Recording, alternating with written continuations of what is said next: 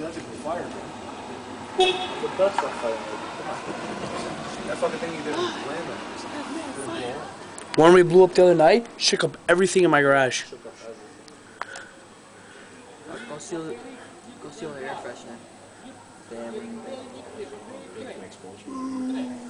Do the whole bag. No, he can't, because once one blows up, it's going to throw the other ones away.